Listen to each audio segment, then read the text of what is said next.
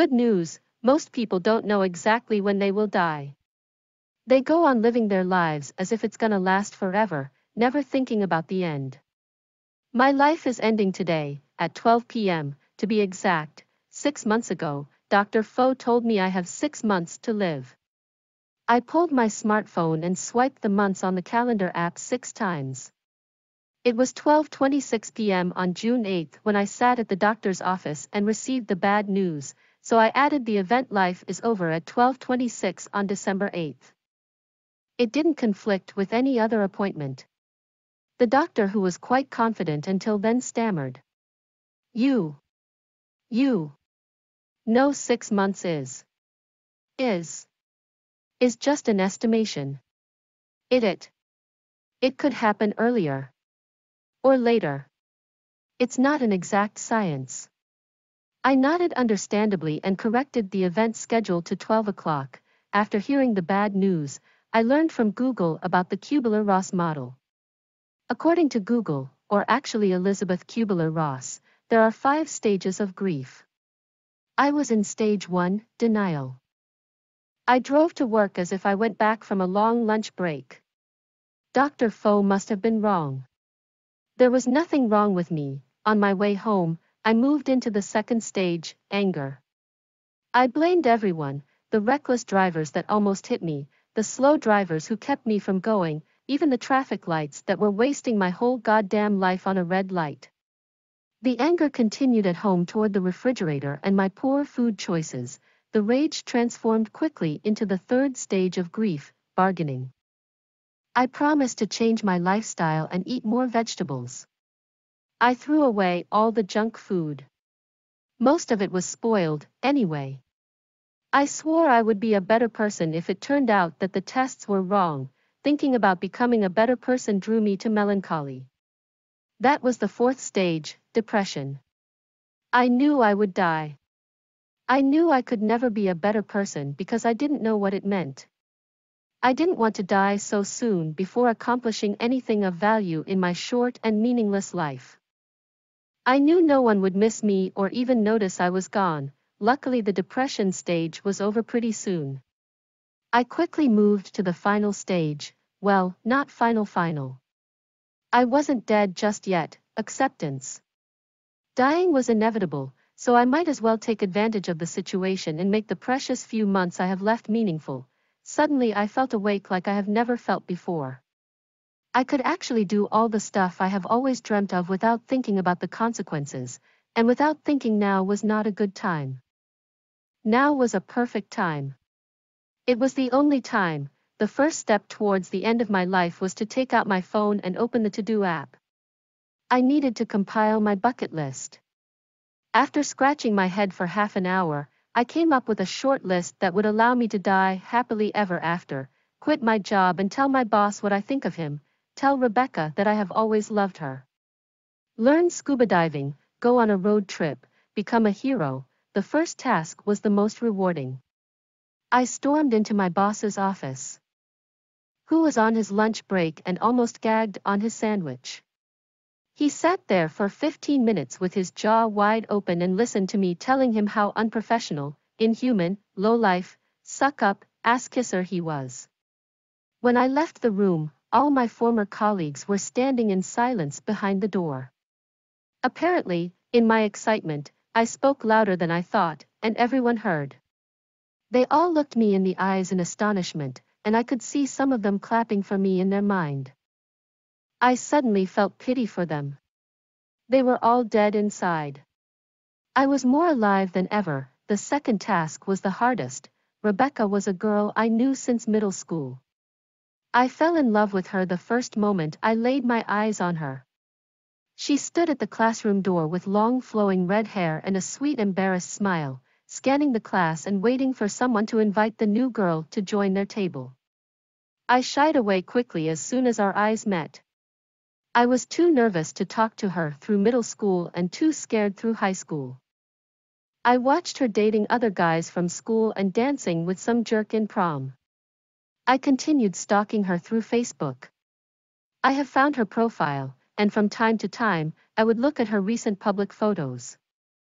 I couldn't even get enough nerve up to befriend her on Facebook. Suddenly, about five years ago, I miraculously received a friend request from Rebecca. My heart was pounding. For a moment, I imagined her searching for my Facebook profile and browsing my photos, but that moment was over. Mr. Zuckerberg must have pushed my profile on her wall, knowing how much time I spent browsing her public photos and videos. My finger was shaking when I accepted her friend request.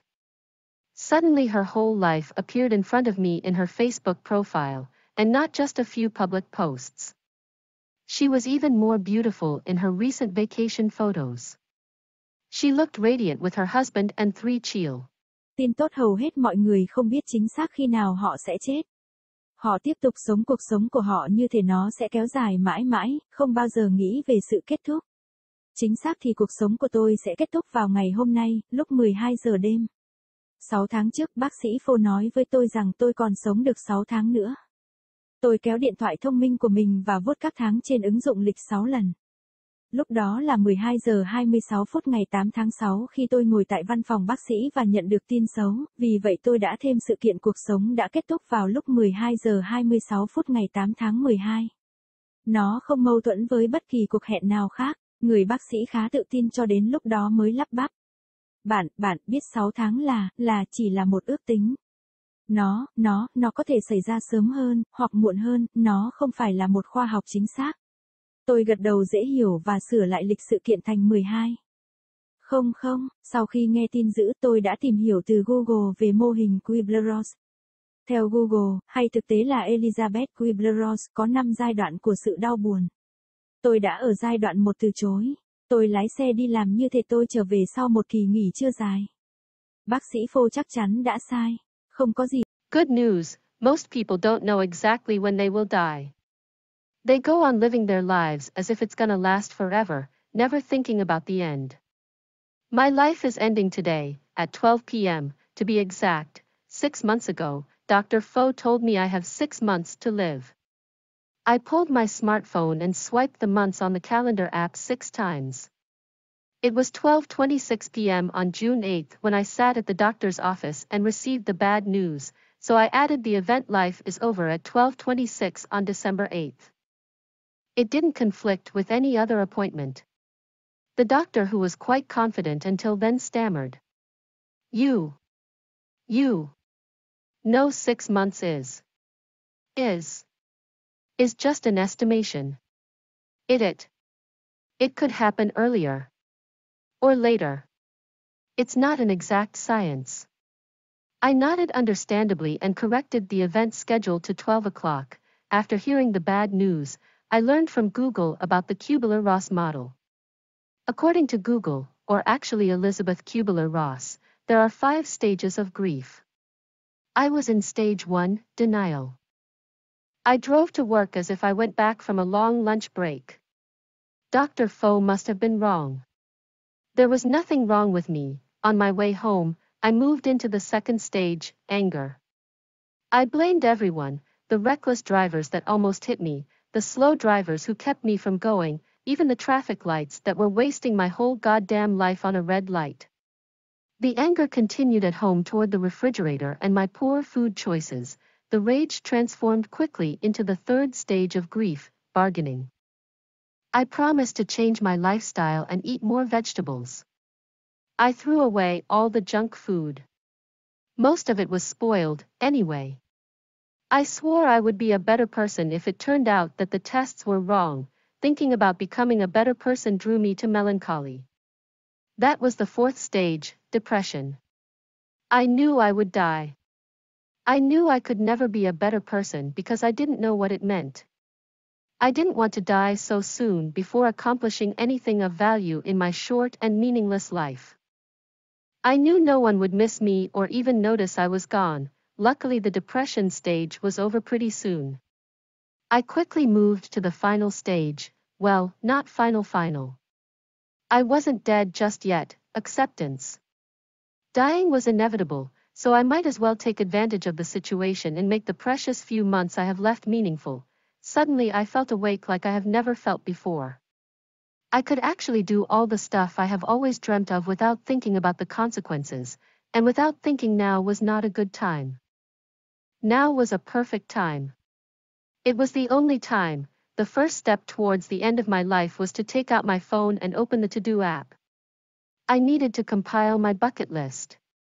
After scratching my head for half an hour, I came up with a short list that would allow me to die happily ever after, quit my job and tell my boss what I think of him, tell Rebecca that I have always loved her. Learn scuba diving, go on a road trip, become a hero, the first task was the most rewarding. I stormed into my boss's office. Who was on his lunch break and almost gagged on his sandwich.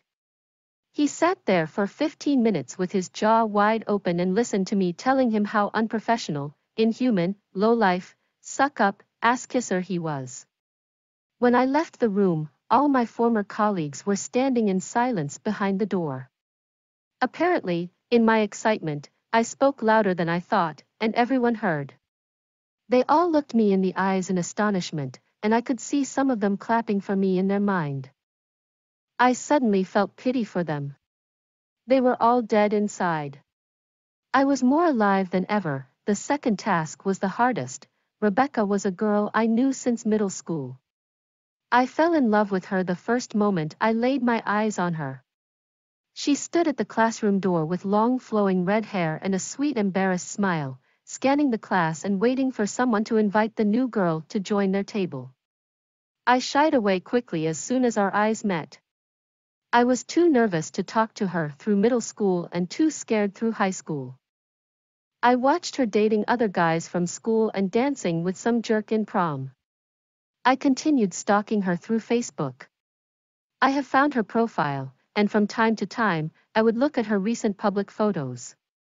I couldn't even get enough nerve up to befriend her on Facebook. Suddenly, about five years ago, I miraculously received a friend request from Rebecca. My heart was pounding. For a moment, I imagined her searching for my Facebook profile and browsing my photos, but that moment was over. Mr. Zuckerberg must have pushed my profile on her wall, knowing how much time I spent browsing her public photos and videos. My finger was shaking when I accepted her friend request. Suddenly her whole life appeared in front of me in her Facebook profile, and not just a few public posts. She was even more beautiful in her recent vacation photos. She looked radiant with her husband and three children.